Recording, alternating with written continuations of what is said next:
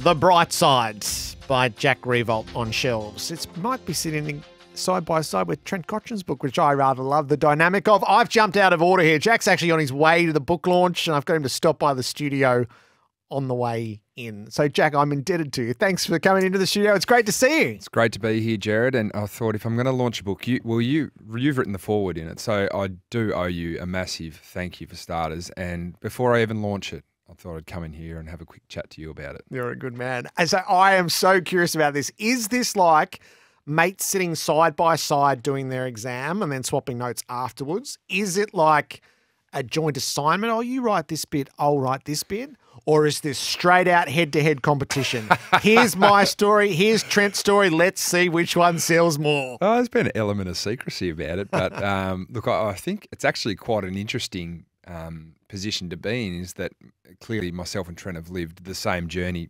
Mine, made mine one year longer at the start. Um, but all the things we've been through, we've sort of been through hand in hand, really. And uh, now you get to to read it in two different versions. So it's it, it, will be interesting to see how how I've seen things and how he's seen things. Um, but ultimately, it's a it's an amazing story, and why wouldn't you want to read it twice?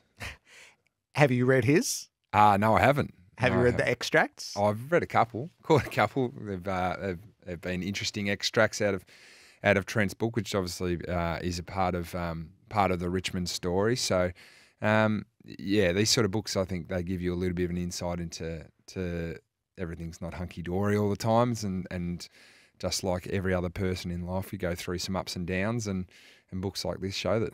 So. I've read yours a yep. while ago, and I, have started Trent, and I've read the extracts. Right, so the the Dreamtime post match, you've written there were words said that would probably be best pulled back. And then Trent went, bang, this is what was said. Did you have a laugh that he explicitly said uh, what was said? Yeah, no, I think um, I, I think for me there was a fair bit of, and there's a fair bit of profanity in, in AFL talk, like especially when there's the, the um, sort of emotional chat that I like tried to remove a lot of that from from my um, language and from from my book. Um, only because it just didn't sit comfortably with me and I didn't think it would sit comfortably with the reader. But I mean, there's robust conversations um, all the time in in all organisations, and, and football and football clubs aren't aren't, aren't immune to that. So, um, yeah, it was interesting that there's it's there verbatim, um, but I mean that's that's that's what books sometimes do, and people choose to to do with their books and. I mean, now if you want to hear the, the dialed down version of it, maybe the PG version, it might be go down the bright side. Uh, otherwise, you can um, you can hear the full version in Trent's book, I think. And the, I mean, the one topic of today is that the question around Trent's relationship with the coach was affected by the marriage separation. Um, I I don't know whether yours was or it wasn't. Do you have a view on how that played out in the team environment? Um, look, I don't think it affected the team um, and the performance uh, of the team. Um, clearly, it was uh, it was uh, it was a distraction for people uh, in the football industry that all of a sudden, arguably the most successful coach of the, the previous four to five years, um, his marriage has ended. But for, for me, there's that there is that line of um, that's your your personal life, and that was Damien's personal life, and and I just turned up to work to be the best version of myself at the Richmond Football Club. Um, and and I mean, I, I, have a relationship with him, um, which was a, a, vice captain mate relationship. And Trent obviously had a, a really in depth relationship with him as a as a as a captain coach and, and three time premierships that, that they've been involved in. So you, you I can't choose how how Trent reacts to that. I can't choose how any player reacts to that. I can choose how I react to that. Um, and for me, I, I remember having the conversation with Dimmer saying, "That's your life. Like, I'm, I'm not going to judge you. I'm not going to pass any sort of information or knowledge to you or give you any sort of suggestions. But I'm here as as one of your your longest serving players or your longest serving player, um, and as a friend as well." I so enjoyed reading your book because it's it's raw. It's exactly how we know you. So I salute to you that it's true to who you are. What what did you what did you want to convey when you when you agreed to the notion of, of documenting your story? Yeah, I was I was a bit bewildered at the start when I was approached by Simon Schuster, who who have produced the book, to actually do it. Um, I never thought I would actually go down this path of, of, of one being interest, interesting enough to write a book about or write your own book. But um, yeah, I, I, think from the end of it, like I sort of look back on it all, and, and there's parts of it that um, I look and go, oh, that's that's actually quite boring. But then the people that have helped me along the journey go, no, that's actually really interesting. So it's amazing how some things in your life you do that become just sort of your everyday life as a professional athlete and a professional footballer um, are quite different to to people who who aren't in in in those sort of circles. So, um, yeah, it's probably a bit of a cliche, but just showing people that I'm a quite a a really normal person. Um, I had a very um, normal upbringing in a um, in a footy loving mad state in Tasmania. My father played a lot of football. Um, and that sort of sport. And it wasn't just footy as a kid. Sport was sort of bred into me with two parents that that were PE teachers, and from there it's just a, a love of competing, a love of sport, and it sort of still sort of flows through me today. Yeah, there is something very pure and loving about your journey with footy. Um, so I, don't want to. Uh, I don't want to spoil the uh, the joy of sort of living it from beginning to end, and it has been um, it, you lived it in real time with us through the retirement. So maybe just a, a couple of episodes. Um, the, uh, and I so I saw this firsthand from both sides. The running battles with Mark Maclure are absolutely hilarious, and maybe a little bit undignified, yep. but absolutely hilarious. Yes, well, Sellers. Uh, I think it all started in a maybe a Friday night game um, whether it was 2012 maybe or 2013. We were playing Fremantle over at Subiaco and and he and he absolutely went me. It might have been on Fox Footy actually that he he, he went me um, when I was sort of yelling at a teammate after we'd had a close loss. We Hayden Ballantyne might have kicked a goal with a few seconds to go and we'd lost by less than a goal. And I was telling the guys to stop chatting to the opposition and just let's get off the ground because I was frustrated as, as, as a lot of the boys were. But um, Sellers took that in an interesting way, um, and clearly there was one camera focused on me, and and went out of his way to sort of make me sound like a, a prima donna. I think were, were his words that he used, and sort of sat with it for a little bit, and then a few of my mates got on me and said, "Nah, we're getting him back." So. Uh, an array of prank calls and, and little pranks were set up on Sellers for a while after he found out who it was, and then it led back to me, and um, and we had to call a truce. So that, that gut, there's a Gumtree episode in there. There is a Gumtree episode in there, so I uh, I, I, owed him a, a, few beers after that, but uh, it was all in jest. But I look back on it now and thought maybe I maybe I could have done it a little bit differently. So there was a in your younger dad there was a resentment to the um to the banner holders forwards, when so it was Robert Walls and Mark Maclure, and they were the harshest uh, they were the harshest judges of your um, style of player. Yeah, they both played for Carlton too, Jared. you were theirs, and they were happy to put it right on your beak. Yeah, yeah, and I think that was part of. Um, well, look, I think that there's an element of you probably judge people harshly in the positions that you may have played as a player. There's an element of that.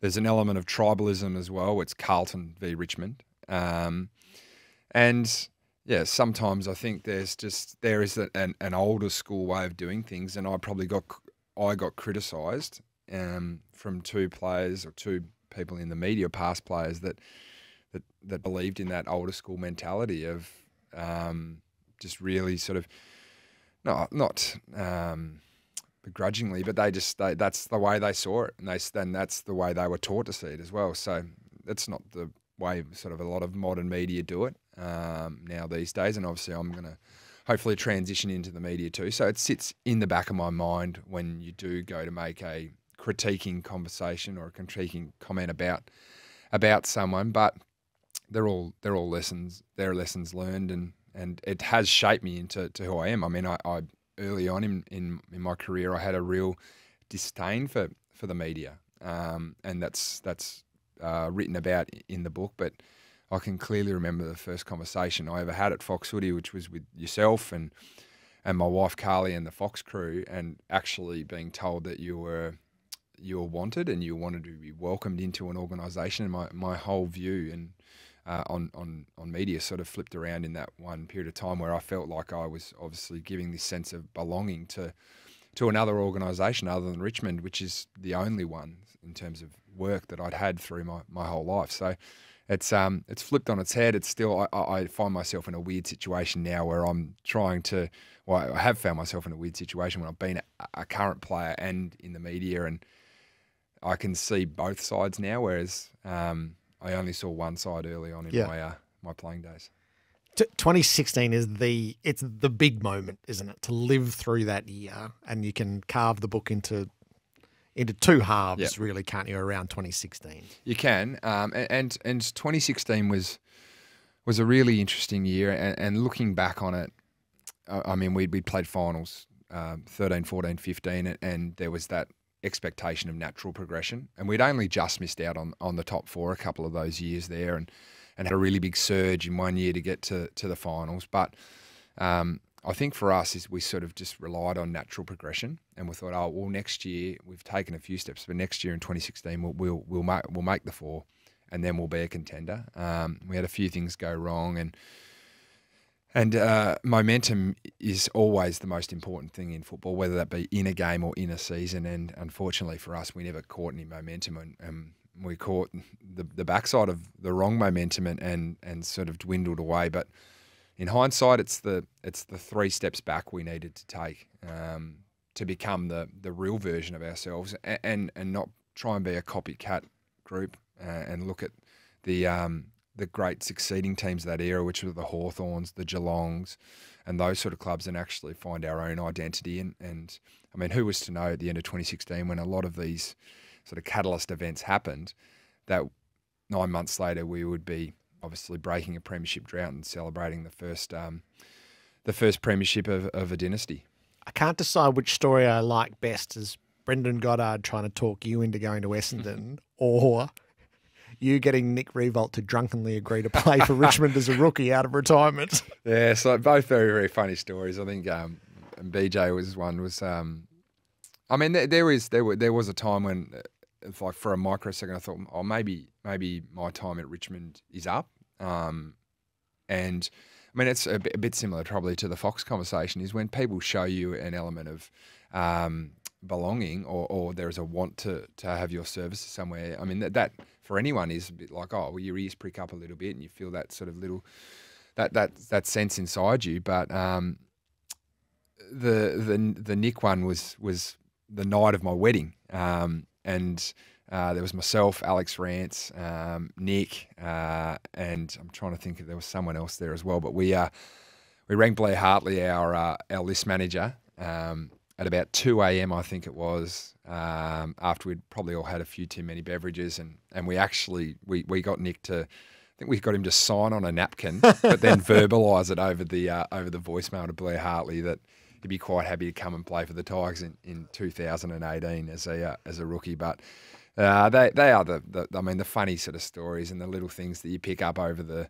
over your journey um, that are, are great to tell people so that they don't just get hidden away in in, in your own little mind somewhere. They actually get to to see the light of day and, and people can enjoy them as much as I did. It's fantastic. All right, this is the right question. Did Jack and Cotch have a side bet on who sells more copies? I don't know. I like to think the answer is yes, travelling Pete. Oh, like look, if there the isn't a side bet, it's like I remember this. this is, I don't know whether I talked about this in the book or not, but we went to um, we did a camp up at the Gold Coast. It must have been 2018 or 2019, I reckon it was pre-COVID, and we were at this MM, MMA gym doing this like pre-season training session that was just ridiculous, where you just wrestle for five minutes and do that for sort of 10 times. And I got paired up with Trent. And for an hour, I tried to just do every little trick like in the book to try and get out of this wrestle with him. But he beat the crap out of me that day.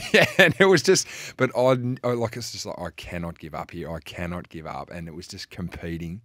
But it was the, the, the captain and the vice captain just going toe to toe in like a really ridiculous sport. But um, that's there's probably an element of that too that we'll both run a curious eye over the other sales and, I love it. and whatnot. So, but you can buy the both, or you can just package them up and sell them to as Christmas presents to people. Why wouldn't you buy both? I think that's the perfect idea. we, we, I- I'll pose this. Which has got the more cachet for the neutral fan? So Richmond supporters are going to have them side by side on the shelf. But if you're a neutral fan, I'm super curious. 0433 98 11 16. Which book's got more intrigue for you? Last one out of the, the book. Um, sport is best when there's rivalry. And Richmond and Geelong had proper rivalry. And I reckon that drips through the page. How personal was it between the two player groups in the years where you're contending preliminary finals, grand finals? Yeah, you've got to think that there's probably a few elements to this. Is that I got drafted the same year as Tom Hawkins and Joel Selwood, so you always compare yourself to to guys that are around your your era or through your draft, and then Dangerfield and Cotchin went in the same year.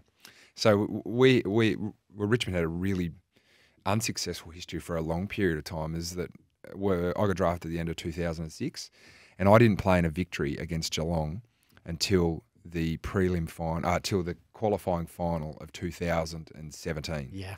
So that's 11 years of being unsuccessful and getting absolutely towed up by the Cats. Like I, I didn't play the day we got beat by 160 odd points at, at, at Marvel Stadium, but I was there. Um, and and they like so there's that there's that little bit to it.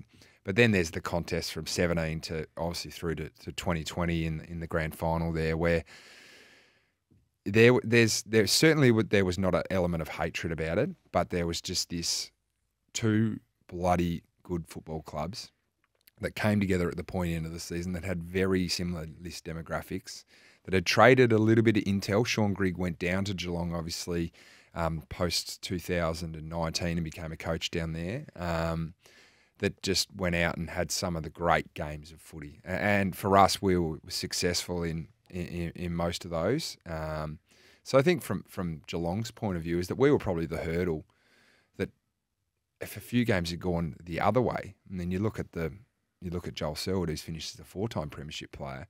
That what does the Geelong story look like if they were able to get up over over us in a couple of those games? But I mean, for the Richmond faithful, we were lucky enough to to win those big games. But there's certainly a, a, a healthy rivalry there and a healthy level of respect too. I love that in the lead up to 2020, you're waiting for you're waiting for Dimmer to use the pre preseason Chris Scott comments that you're not Hawthorn, you're not Brisbane, you're you're not a dynasty team, and it's like you.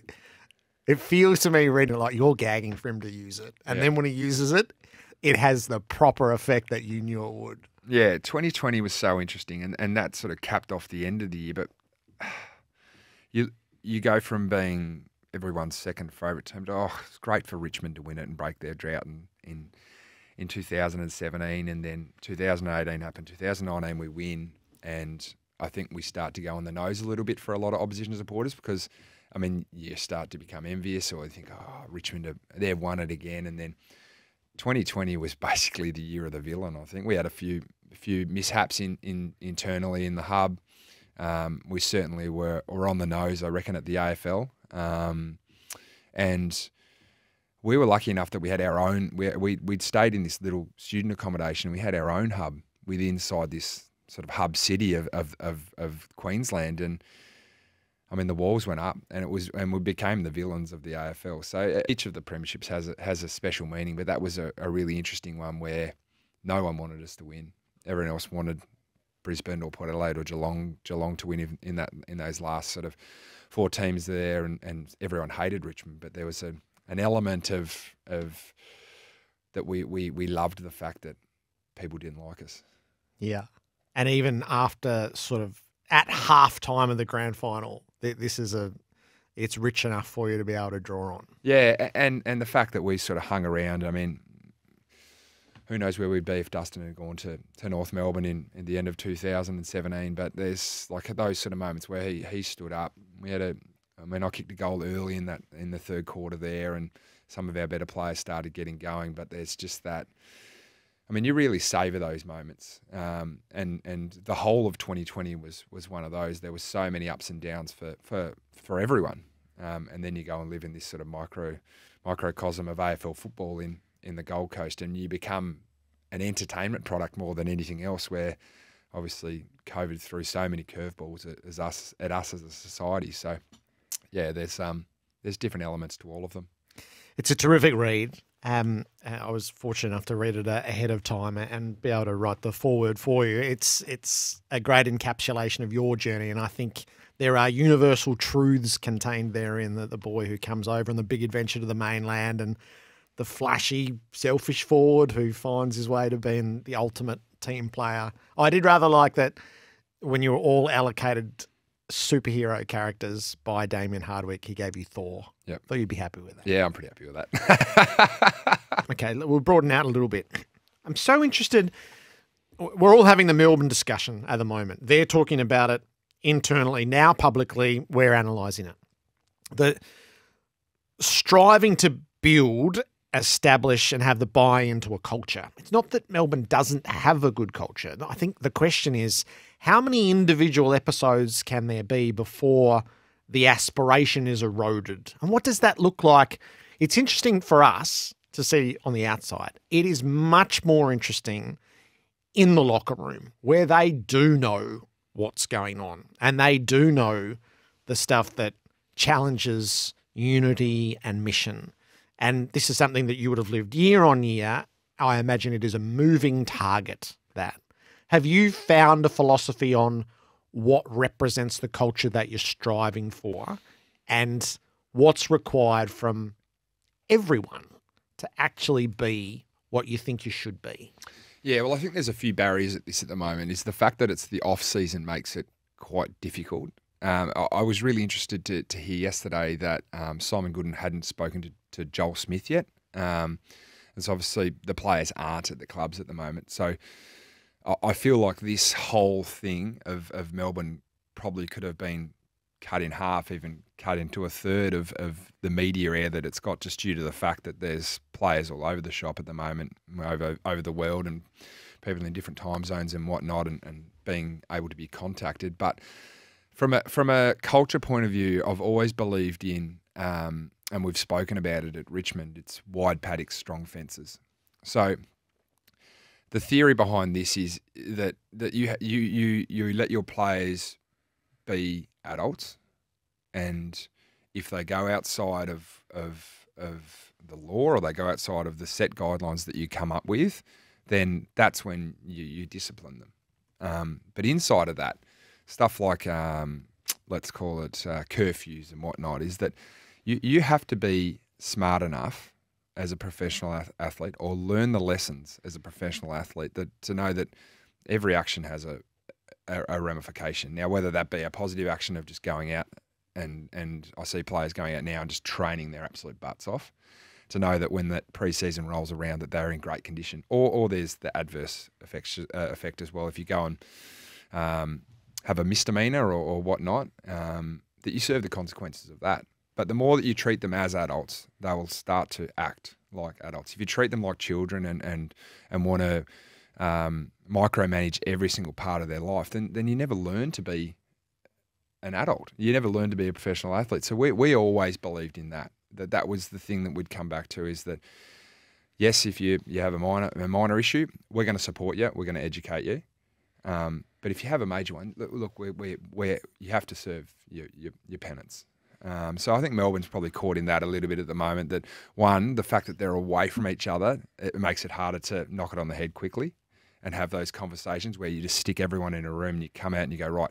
You've learnt your lesson. Here's what we're going to do going forward. So there's a, an element of time with that as well, and and also is that you sometimes people stuff up, and whatever you put in place won't prevent that.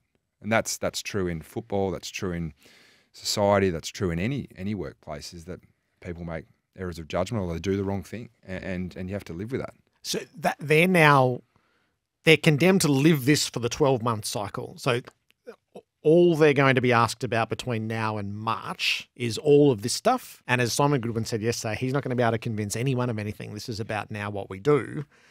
You can't really do anything until you start playing. And then for them, is their judgment doesn't really start until September, unless they muck it up along the way. Is this is now about two straight sets finishes? Is that is that hard to shoulder for that length of time? Well, it's it's it's important to know who shoulders it as well. It, it, it can't be shouldered by the younger players or of of, of the organisation. This is where the Petraccas, the Gawns, the Clayton Olivers, the Goodwins of the world, they, they need to they need to lead that football club as they have done for for a period of time now. Yes, they've had a, a slip up or a few slip ups um, in the media um, and in the media's eye. I'm, I'm, not saying that's what's happening or what's being reported is true, um, but they need to they need to make sure that they get the ship and they start steering the ship in, in the right direction. They, they are the big players at that football club, and they need to make sure that they choose a direction they want to go in. They let everyone know what the direction is they're going to go in, and then they make sure that everyone gets on board. And that's the only way that they'll get back to September, as obviously straight sets when you finish top four will always heap that pressure on you. That they need to get back there and give themselves the best opportunity, but also understand that next year is a new year, and and things that have happened in the past do not affect how they're going to play football for next season and how they're going to play football in in in the hopefully for them the finals of of 2024. So is the first day whatever it is when they come back together as a group does that become a big day? It does. It does because you come back and then all of a sudden you might be able to jump into some of these conversations but I mean if I was Simon Goodwin I go look we've had a shitstorm over the over this period of time. But we're back here now where we're in the same room, we're in the same football club and if we want to they, hopefully by then they've chosen the direction they want to go in. And he goes, "This is the way forward," and jump on. And that's that's going to be the critical conversation that needs to be had at the start of it, and and from there it will evolve for the Melbourne Football Club over the pre-season into to obviously the season and, and, and finals post that. And you've got a runner in the Melbourne Cup. Couple, yeah, hopefully. Valiant oh, yes, King as Valiant well. King as well. Don't know whether it'll run yet, no, but we'll see. Um, how do you get your horse out of the barriers? Jack? so you've learned the, the hard lines, knocks. That you've opened the hard. Well, somebody's actually suggested that this might be a job for Emma Murray. to get She just out of the me, gates. actually. There you go. What are the chances? Six lengths last out of the gates in a Caulfield Cup for all the build up. That had to be a bit anticlimactic. Yeah, it was a little bit. Um, but look, w- w- Chris Waller's an amazing trainer, uh, and we know we've got a we've got a good horse, and and uh, Joao Moreira jumps on board with arguably one of the best jockeys in the world. So there's a few things pointing in the right direction for us, but. Um, for that, uh, for the Punt Road End Syndicate, we're we're excited to to have a run. I mean, it's one of Australia's best um, sporting occasions, uh, annual sporting occasions, and to to be there and, and live that sort of three minutes of just um, nail biting, sweating in a suit, just anticipation is is it's very similar to, to the the three minutes before a grand final. Because racing is probably a little bit even more different is the fact that we, we can't influence Yeah, one bit. Like I can't go up to Soulcombe and whisper in its ear and give it some advice or something like that. But footy, we're able to actually impact and, and go out and try and get a kick and, and think differently and um, train and prepare for a mindset. Whereas we sit back in the in the uh, the lap of, of, of obviously Chris Waller, Joao Moreira, and Soulcombe and the racing gods. Yeah. So I think about the two scenarios. If he's 24th after 100 metres, but what if he jumps and he's 14th, one off the fence? Gosh, you're in for a three minutes then. Oh, they'd be nervous. They'd be nervous. But I, I think for for Soulcombe, has obviously won the Queen's Cup around Flemington. Um, the longest straight, obviously 1,200 metres, they, they come out of, and then a lap after that will suit us a little bit. We'll be able to sort of find our way, uh, maybe a little bit. If we if we do miss the kick, you can hopefully barrier draw. You get an inside barrier and you can sort of boot up the inside. He, he won the heavily from sort of booting up the inside and not missing it by much. But ideally, we'd like him to bounce out first, but we know that's probably not going to happen. And then it'll be up to Joe to steer him into the best uh, the best position for, for obviously giving it a crack at the uh, at the final post. See you at Flemington next week. Look forward to it. Jack Riewoldt's in the studio. He's heading to his book launch now. The Bright Side. It's on shelves. Uh, terrific. Great to see you. Thanks, Jared. I'm not sure if Cotch is a cricket player or not. He's a Bendigo boy, so I'm just that Definitely would used have to be what you do is cricket in the in the uh, summer and footy in the winter. He's got a book coming out, and we want to have a chat to him about it. It's called From the Heart. After a magnificent career of 300 plus games, three premierships as a captain and a Brownlow medalist. Not a bad CV. G'day, Cotch. Good morning. How are we doing? Good cricketer, tennis player in the summer months. Uh, definitely not cricket. I think I bowled one over and got hit for about 30. And Jeez. my, my best position uh, was just fielding, probably. To be fair, that's about my talent in the cricket. That is played throwing half, us. half a season my whole whole junior career. That's thrown us for a real twist there. So, what did you do in the summer months? Uh, I spent a bit of time up at uh, Echuca Moama, so water skiing, and Yeah, nice. Dad uh, wasn't overly patient, so he always um, said, if, if you want to play cricket, you can get yourself there and home. Much smarter too 12-year-old. than getting on the beautiful Murray and having a bit of a ski and a, a cool drink rather than sitting in 43 degree heat up there, Sammy. Indeed. Hey, It's a good point. hey, Trent, I wanted to ask you it's not a small undertaking to do a book. Uh, how did you find the process of putting your life down on, on paper? Yeah, uh, probably in the initial stage, it was kind of like, well, what am I even trying to do here? But I think as I progressed through uh, and worked with uh, Glenn on, on putting it uh, into words and in book form, um, I really enjoyed the process of reflecting. You know, I think often as an athlete or us as human beings, we, we typically are focused on now or the future and don't often reflect enough.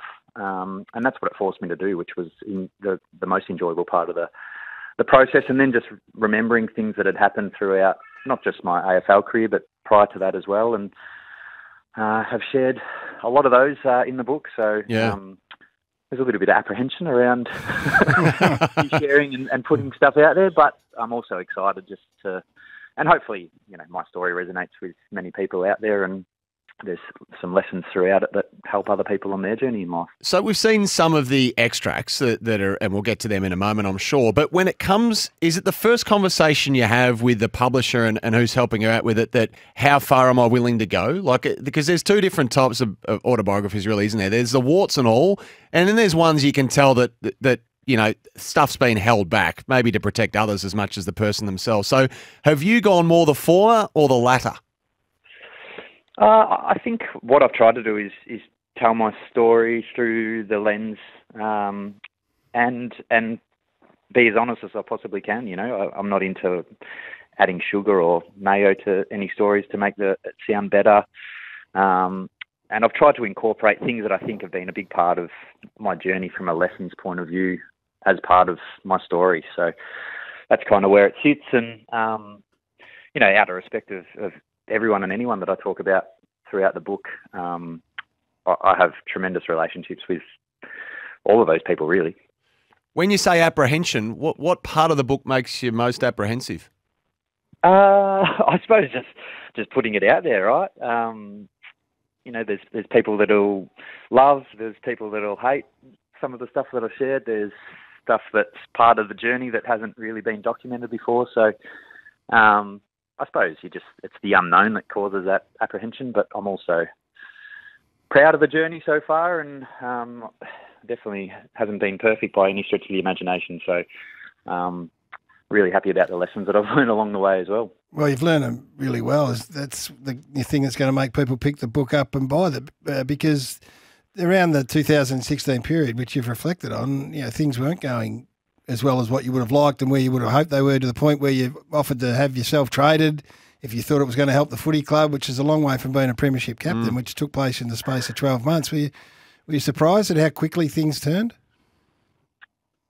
Yeah, I, I definitely was. I mean, sitting there at the end of 2016, and if someone had said, "Oh, you'll be a premiership captain next year," I would have laughed in their face. And and probably, to be fair, I didn't think it was going to happen um, in my career at all. Uh, but I, once I went through that journey of re-establishing who I was and connecting with other players and, and what they wanted to stand for as well, um, I realised that it actually wasn't about the premierships. It was more about the way that we were living and playing and uh, enjoying you know, the, the amazing opportunity we had to be at such a proud footy club and get to do that as a job was pretty special. And then connecting with people and, you know, even now when we reflect on premiership years and so forth, it's it's not actually the day that you reflect on. It's all the stories and little moments throughout that season that were so special and made that journey so worthwhile.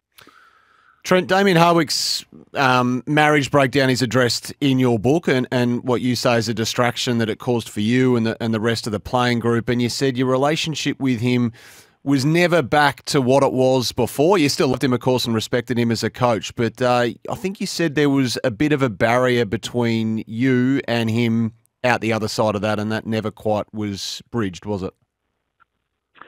Oh, I have a great relationship with Dimma, and um, you know, out of respect to, to him and his family, I know that it's, it's mentioned in the book, but uh, I'll leave that for the readers. I think the hardest thing for me is when you do put that kind of stuff out there, the headline and so forth that gets attached, or um, as we all know, in, in some forms of media, um, can paint a different picture as to how the story goes. So, um, yeah, I mean, there, there's no doubt it, created some form of distraction. It's, it's not every day, and I suppose from from my point of view, from a personal point of view, I, I loved both Dimma and Danielle, and both Brooke and I looked up to them as you know a great example of how bringing your kids up looks like, and the way that you celebrate family and incorporate them into an organisation and so forth. So it was probably mm.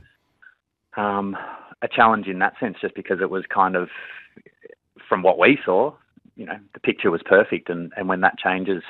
Um, yeah, it was it was a distraction. It's not like there was any judgment from our point of view. It was more just the fact that it wasn't the same as what it used to be. Uh, yeah, and parking that specific situation to one side for a moment, how does that, you know, marry up with embracing imperfections, which I think was the buzzword at your football club when Gary talks about the changes from 16 to 17 and and then the premierships that that came embracing imperfections. So can how does that marry up with that? Because that was seen to be a big part uh, of Richmond, wasn't it? That that no one is perfect and we are all imperfect. Yeah, 100%. And and that's exactly part of the story. It's everyone has their own story to write and it's how you come together and create another part of that story um, as a club and as an organisation. And you know, I think just on the back of what was an amazing period for our footy club over those four years, um, and then the hub year and and everything, I think we just literally got a little bit tired and things became a little bit more challenging, which obviously breaks down some of the stuff that you've been so strong in. Um, and and and that's probably what I'm excited about now, having stepped away from the footy club, is seeing, you know, other guys stepping up to the plate and, and putting their spin on things and, and reconnecting the footy club in the powerful way that we had it going uh, through those dominant years. And, um, you know, as a supporter now, I get to sit back and, and watch that unfold from afar. With Trent Cotchin uh, from the Heart as the book's out now, I'm, I'm, sure that people will be flying out to get a hold of it. Your relationship with Dusty uh, over the time, it was again, we're from afar. Famously reported, and I've heard you guys talk about that. You know, it was an unlikely bond and connection that you made very early in the piece, and that you know, he was around and babysat your kids and that sort of stuff. And this was at a time when, you know, we didn't sort of know Dusty all that well, and it was good to get a different size of him. Did it maintain that level of closeness throughout the whole of the career? Yeah, look, it probably wasn't that from the very beginning. I um, I think one of my lessons was that I was probably too quick to judge a book by its cover, and given the tattoos and um, he was painted in this sort of I don't give a stuff sort of attitude, I probably didn't connect to him uh, as strongly or as quickly as um, what it would seem today. And but the the lessons that Dusty and his journey has taught me is, um, has been amazing, and, and, and one being that you should never judge a book by its cover because you don't really know what's under the hood. And getting to know him on a more deeper and personal level um, has been a really special part of the journey at the footy club. Uh, he's obviously a great mate, but also to to watch his footy career transpire the way it has, and I'm sure that many of your listeners can only appreciate some of the stuff that Dusty's done on the field, and he does make the game of AFL um, somewhat special to watch. So, yeah, uh, as you said, Gaz, uh, he's one of those guys that he's generous, uh, very grateful for everything that comes his way, and um, he's willing to to sacrifice whatever he has to to look after those that he cares and loves about loves. I'm a, I'm a big fan of what you've Trent. I, you know, I know Ben Crowe really well, and I've spoken and spent some time with him as well, and he's had an obviously an enormous impact on where you're at, and similarly an impact on the you know the Richmond Footy Club, you know, through that period of time with Damien and you know however else that influence has played out. I'm just sitting here thinking, talking to you now, and I don't know whether you've been an observer or of what's going on at Melbourne right now, a team that have you know enjoyed success two years ago, but right at this point in time, having their culture questioned and all the different things we've gone through. I mean, if you haven't listened to it, then you probably can't answer it, or if you haven't followed it, you can't answer it. But would you have any advice for them? Oh, to be honest, Gaz, since I've retired, I haven't Yeah, sure. been engaged a whole heap in it. But um, yeah, I, I suppose I, I think the reality is whether it's sporting clubs, business environments, you know, even just being a parent and, and bringing your own kids up. There's all these different challenges that there probably wasn't quite as many of. Um, you know, when I was younger, and then obviously people that are older than me when they were younger. So it's forever changing and evolving, and, and that's the way of culture and leadership. Um, you need to have your finger on your pulse and, and understand your people and what makes them tick. Um, you know, the, the de- decisions that players or people are making uh, in society today um, are a whole range of reasons as to, to why they make the decisions that they do. So Yeah. I think just from, from my point of view, it's, it's trying to understand that, ensuring that you create a safe place where people do feel supported and um, can be at their best, but also, you know, set pretty strong expectations on what's required as a player. Uh, but to know that if you do happen to have a slip up, that there'll be support there for you, and you make sure that they can get back on the, the path that's going to allow them to be their absolute best, not just footballer, but self, really. Now, Trent, just a lighter one. A very competitive market is the book market. You would know that. You're not even the only person in your old dressing room to release a book. You're a bit stiff here because Jack Riewoldt's The Bright Side. He's in a direct head-to-head battle with you. Who's going to sell more copies? uh, it's probably the only thing that's important to me is beating Jack in the sales, to be honest with you. So if everyone can head out and buy mine and not Jack's, no, I'm just joking. I, I think, you know, Jack's one of my good mates, and I, I'm so pleased to have seen his journey firsthand and the growth that he's had. You know, I, I had a friend text me the other day saying, mate, I'm definitely going to buy yours, not Jack's. And I said, well, to be honest with you, I think his book would be an amazing read from a, you know, what I've seen over the last six or seven years in particular, um, from a leadership point of view, has been incredible. So I do hope that he, he shares that. I haven't read it myself, uh, and he told me that Carly wrote most of it, his wife. So Uh, just that- quickly, that's just a joke, but Yeah. what are you What are you doing next year? What's going to be keeping you busy as you you enter this new phase of your life? Yeah, I, I don't know exactly what it looks like. I, I love the idea of being involved from a mentoring and leadership point of view at some stage, but I haven't quite worked out what that looks like. Uh, we're opening a, a Pilates and yoga studio in, in Essendon called Core Plus. There's plenty of them around Victoria and Queensland. So, um, yeah, just joining that brand, it's, it's an interest that uh, we've been involved in for three or four years. So just getting more um, actively involved, I suppose, and uh, have a positivity company called Posi Socks, but we're actually um, rebranding that and, and going away from just socks and just trying to make a, a positive difference in the world. So plenty, plenty going on, gentlemen. Plenty on your plate, Mm. as we, we expect. And of course, uh, Tim Watson mentoring you through your budding media career, which we will go Oh, yes, watch with great interest. he was very good. Well, he told us he was. I don't know, I'm quite sure. Uh, yeah, great to talk to you. I'm an unabashed fan and have been, and I think change and it's discovery and the, you know, it's a great story. So I'll be really interested to Mm. read it, and I'm sure a heap of people will get out and have a look at it as well. So. I guess you're on the. You've probably got hundred interviews On the to do right hustings. now on the hustings. So we'll let you go, and we appreciate you joining us. Thanks so much for having me, guys. Thanks, Trent. Trent Cotchin there from the heart. From the heart. The book. Um, who is going to sell the most? It is a heart one. That one, you know. The bright side v from the hard. Both have had good extracts as well. Oh, Disappointed that he didn't play cricket though.